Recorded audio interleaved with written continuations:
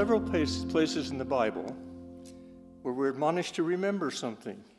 How come? Because we're all prone to forget, right? I forgot a name this morning. We were talking about somebody. Couldn't remember their last name. So when God says remember, it must be something important. We all know about the fourth commandment, don't we? Let's turn to it. Let's just feast our eyes on the fourth commandment. Exodus chapter 20.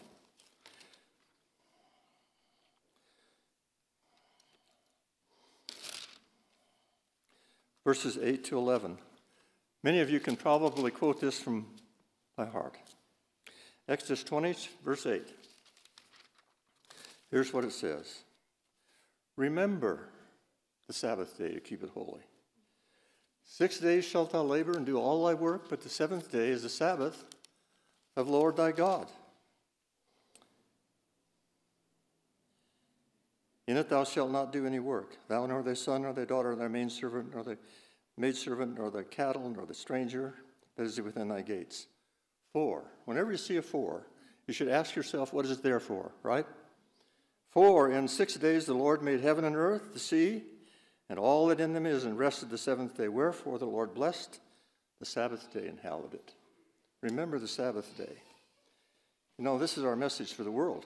I'd like to couple that with a couple other verses. Romans chapter 1, 20 to 25. Romans chapter 1, 20 to 25. You all know what that says already, I'm sure. But it has to do with the Creator and the creation. Here's what it says For the invisible things of Him from the creation of the world are clearly seen, being understood by the things which are made, even His eternal power and Godhead, and so that they are without excuse.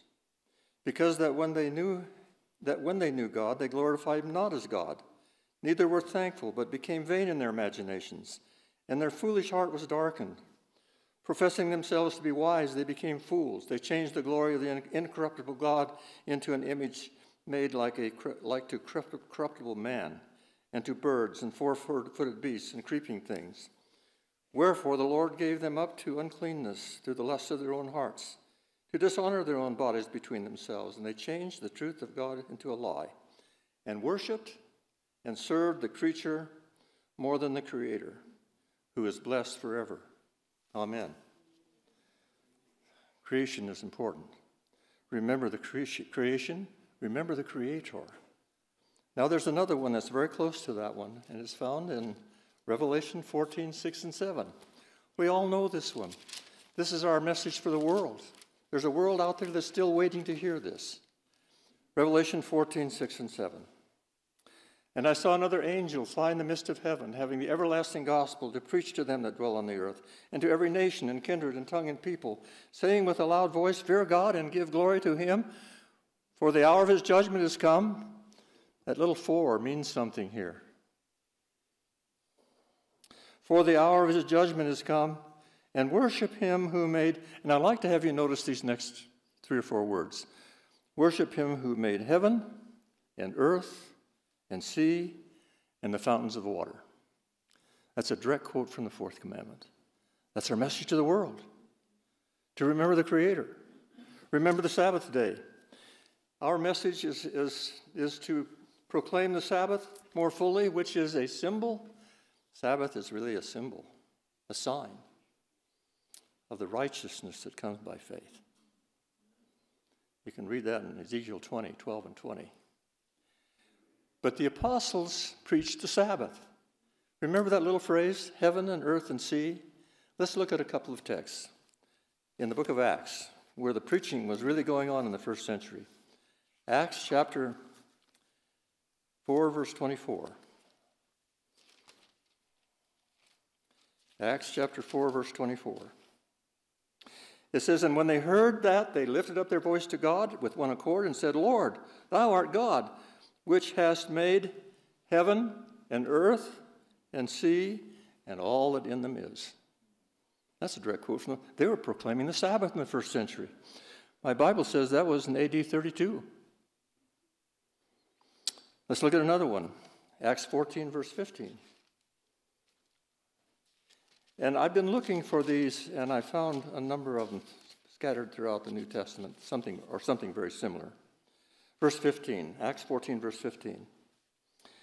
And saying, Sirs, why do ye do these things? We also are men of passions like passions with you, and preach unto you that ye should turn from these vanities unto the living God, which made heaven and earth and sea and all things that are therein. Direct quote from the fourth commandment. If you want to know, somebody asked you, where does it say anything about the Sabbath in the, in the New Testament? Well, there it is. They proclaimed it to the Gentiles. Sabbath in the New Testament, a memorial of the creation. For in six days the Lord made heaven and earth. Secondly, something to remember, I'd like to have us turn to 1 Corinthians 11. Another thing to remember 1 Corinthians chapter 11 and verses 23 to 26. If you have it, say amen. For I have received of you the, of the, I have received of the Lord that which I also I delivered unto you, that the Lord Jesus, the same night in which he was betrayed, took bread. And when he had given thanks, he brake it and said, Take, eat, this is my body, which is broken for you. This do in what? Remembrance of me. We do this because we are admonished to what? Remember him, the great passion that he has for all of us that took him to the cross. After the same manner, also, he took the cup, and when he had supped, saying, This cup is the New Testament of my blood, this do ye as often as you drink it in remembrance of me. There it is again. For as often as you eat this bread and drink this cup, you do show the Lord's death until he come. Wow, that's powerful. To me, that's very powerful. the communion service is really a little baptism because it has with it the foot washing. Do you know that the people of the first century, the first century Christians, were known as the people who washed one another's feet? Can you picture, take in, in the whole picture, Jesus uh, seated there with the disciples on that Thursday night, and uh, they have been hiking probably 20 miles or so that day. Feet were all sore, tired. And uh, there was a lot of tension in the room that night because the disciples had kind of been quarreling. Jesus takes a, a basin and a towel and begins to kneel down and wash their feet. And in the 13th chapter of John, Jesus said, I've done this to you, now you do this to each other. It's really a command in, in John 13. That's why we have the foot washing. Some people have asked me, why do we do the foot washing? Because Jesus said to do it. And you know, we've had called this the ordinance of what? Humility. It's an ordinance, like baptism is an ordinance. And this, is, this can be very meaningful to each of us as we think about these things and think about the bread and the wine, the broken body and the spilt blood. That, uh, you know, this is. Uh, a little baptism, a renewal of our baptismal vows. Okay. It's a pow- powerful reminder of the passion of Christ for us, a reminder of the character of God. Jesus said to do it, that's part of his mind, right? Let this mind be in you, which was also in Christ Jesus. For this reason, we should all want to want to uh, to partake in the communion service. I know sometimes when we have a communion service, some feel that maybe they're not worthy. Make yourself ready for that. Prepare. We're going to have a, we're going to have a communion service here pretty soon, one of these days soon. Then there's baptism, another reminder. And I would like to have you turn with me to Romans, the sixth chapter, verses 2 to 6. Romans 6, 2 to 6. This is what baptism means. When we do a baptism, we're doing a, a pantomime, as it were, of the death, burial, and resurrection of Jesus. And this brings it tremendously personal to us because we are accorded the high privilege of dying with him, being buried with him, as it were, symbolically, and rising with him in a new life. Uh, that's what baptism is symbolic of. Let's read it. Chapter 6 of Romans, verse 2. God forbid, how shall we that are dead to sin live any more there any longer therein? Know ye not that as many of us as were baptized into Jesus Christ were baptized into his death? Therefore, and when, when you see a therefore, you should ask yourself, what is it there for? Therefore, we are buried with him by baptism into death, that like as Christ was raised up from the dead by the glory of the Father, even so we also should walk in newness of life.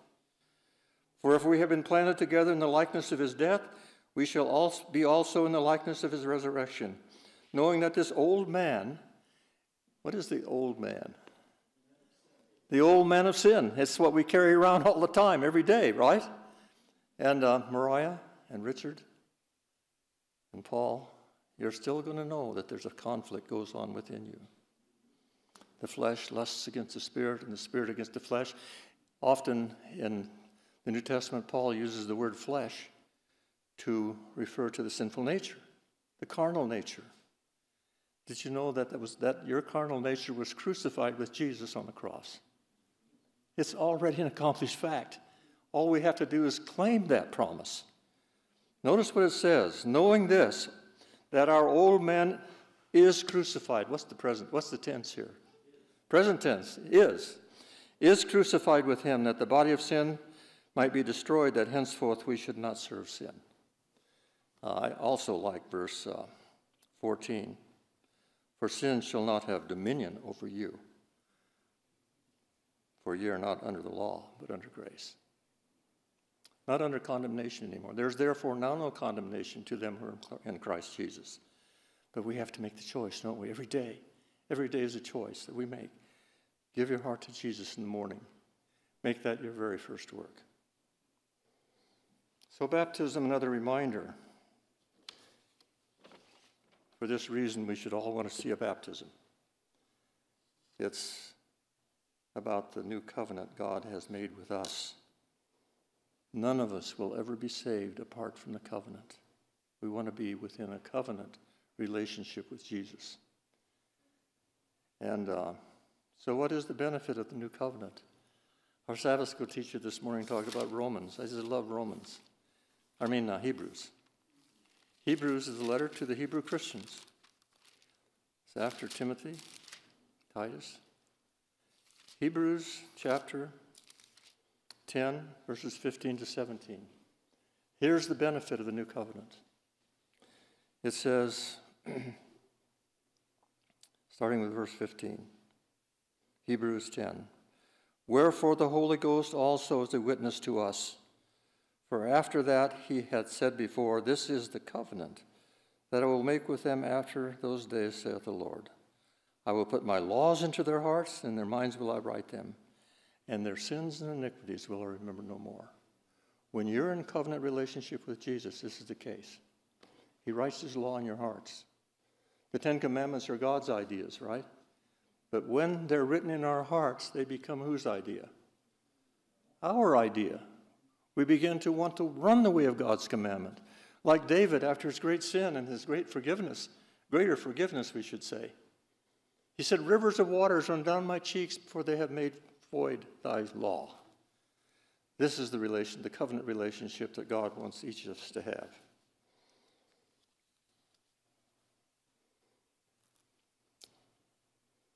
The creator of heaven and earth visited this planet 30, for, for 33 years. He came here on a long and dangerous journey. Not only was it a long and dangerous journey, but there was a risk involved. At least twice in Desire of Ages, I've read about that risk. There was a risk involved. If there was no risk involved, why, it, would, it wouldn't be near as meaningful, but God risked everything. He literally poured out heaven in one gift. And what would be the result? Jesus must have wondered sometimes, I wonder if they're really getting this. One day, he was in a little, in, a, in somebody's house, in a little house, and he saw Mary do a very unselfish act.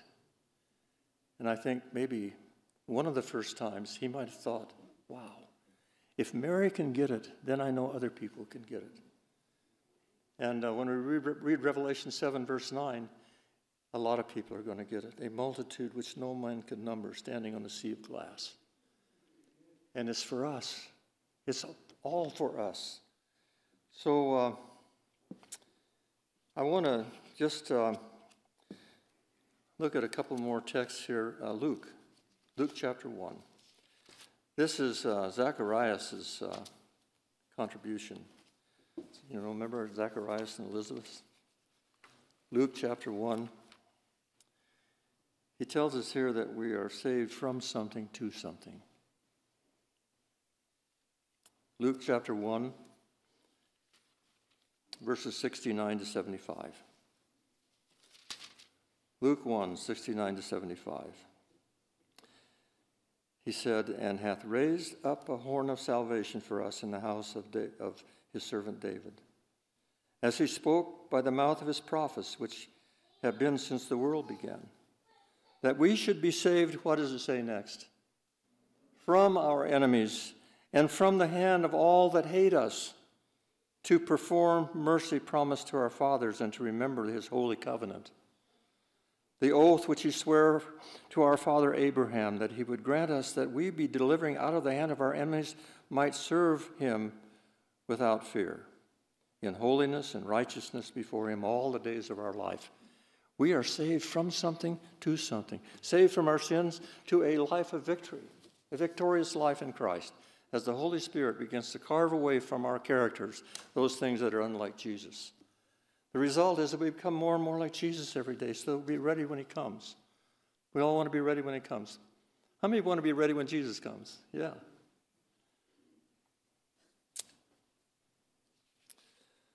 So, uh, this is a faith journey. Our Sabbath school teacher talked about faith this morning. Somebody had faith. According to your faith, be it unto you. Christianity is the only faith religion in the whole world. All of them have a ladder system where you climb to the top and somehow reach something. But uh, it's not about giving up this thing and that thing of any value. We don't ever give up anything of value. One day the disciples said to Jesus, We've given up everything to follow after you. Remember that little incident? At the inference was, what were you going to get out of it? Okay? And what did Jesus say? He told them that life now, in the now, would be a hundred times better than it would otherwise. And after that, eternal life. Can you believe that? Life is a hundred times better for the believer in Jesus than if he had not accepted him. Look at the world around you and see the sorrow and heartache that's going on around. A hundred times, might be a thousand times even better. and after that, eternal life. You can't put a price on that. Eternal life. So I want to move on here to uh, come to a close here.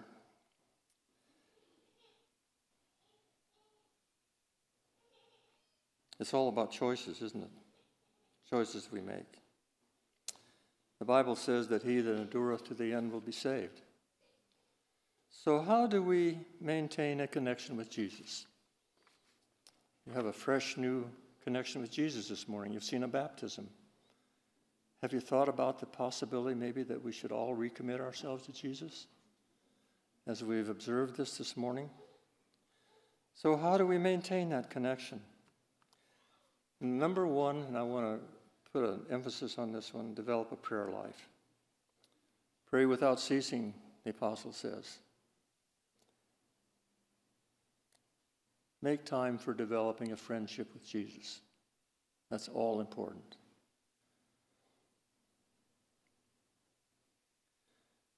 John 15, 15, Jesus is telling disciples, I'm going to make, you're my friends now. So we develop that, that by developing a communication with Jesus, a meaningful prayer life. Secondly, daily study of God's Word. Could we find time every day to spend a little bit of time learning to know Jesus? That's how we learn to know Him. You can't love anybody you don't know, nor can you trust anybody you don't know. So then faith comes by hearing, and hearing by what? The Word of God. God's Word is powerful. Hebrews 4:12 says it's more powerful than a two-edged sword. And as we understand as we as we meditate on these precious words that we study from the Bible, faith is developed in the heart. And faith brings a strong love for Jesus. In a Christian home, you can set up a family altar. And as children are born into the family, that family altar will, be, will, will, will bring a lifelong memory to the little ones that grow up in that home. A family altar. Third one I have down here is um,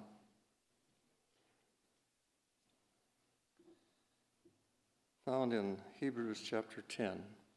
You had it in your scripture reading this morning, but I would like to reread part of the scripture reading.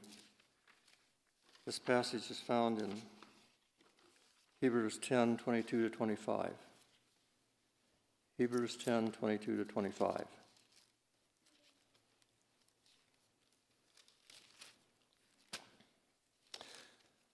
I want to underscore this with some tremendous importance. Verse 22 Let us draw near with a true heart. What kind of a heart? A true heart. We should pray for a true heart. If we don't think we have a true heart, we should pray for one, right? We should pray for a desire to know Him better, for a true heart. Let us draw near with a true heart, in full assurance of faith, having our hearts sprinkled from an evil conscience and our bodies washed with pure water. Let us hold fast the profession of our faith without wavering, for he is faithful that promised. And let us consider one another to provoke unto love and to good works. You know, one translation says to stir us up, okay?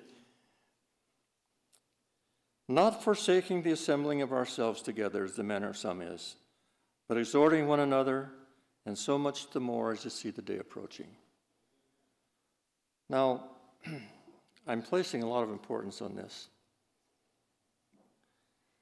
The counsel here is not to forsake the assembly of ourselves together.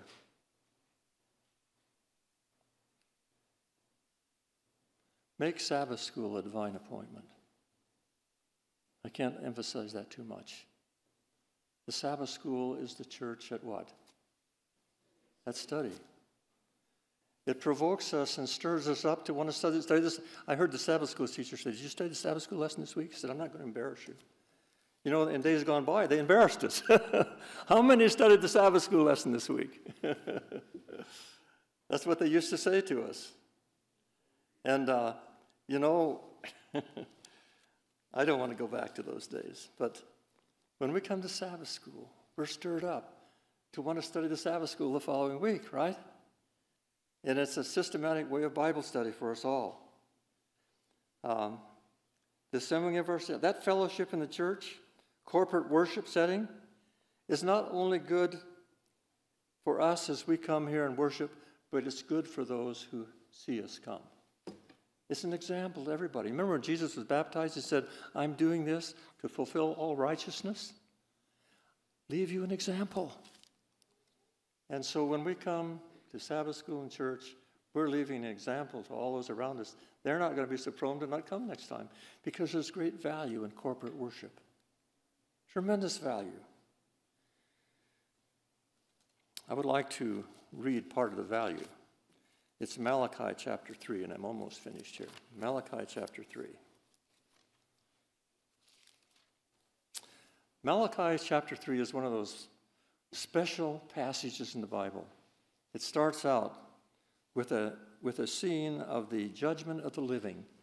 How many of you have heard of the judgment of the living? Okay. We all know that the judgment began for the dead in 1844, right? But there comes a time, soon, none know how soon, the, the judgment will pass to the living generation. And chapter 3, verses 1 to 3, is a description of the judgment of the living. Ellen G. White uses it in that sense judgment of the living. That's probably the next greatest event that we have ahead of us. And it, there are some things that signal it. Sometime in prayer meeting, we're going to talk about some of those things that signal the judgment of the living. And our preparation for that is to realize that Jesus is our high priest. And he longs for us to cooperate with him in his work as he wants to close up this thing, this thing we call sin. There's nobody in the whole universe that wants to see the work finished than Jesus. And uh, who do you think he's waiting for? So the first verses of Malachi 3 talk about that. But I want to drop down to the end of the chapter We're talking here, the subject here is us not to forsake the assembling of ourselves together. In other words, we want to come here every week, right?